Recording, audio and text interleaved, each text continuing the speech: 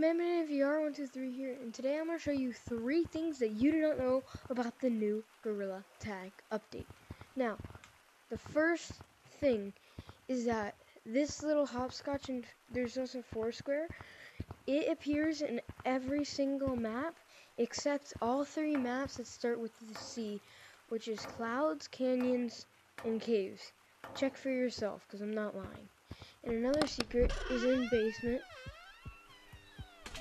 is, you know, you may have gone into basement and going, hey, has anything changed? Well, actually, they have a picture of a volcano saying molten. So this could mean, you, know, like, yeah, could mean a lot of stuff.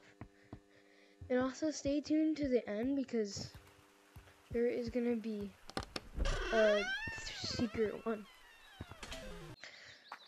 Now the next thing I think is kind of for new players. It could teach you how to wall bounce from going here to here to here to here to here to here, and then you know just I don't know. I just think that's kind of like teaching you how to wall bounce. I think they did that for like new players just so that you can go up and then you know bam bam bam bam bam.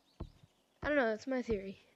Now that I think about it, it's not the most accurate, but like if you're new and you don't know how to wall bounce, uh, use that thing because that probably helps. Everyone, for the bonus secret, if you bought these two cosmetics, your email.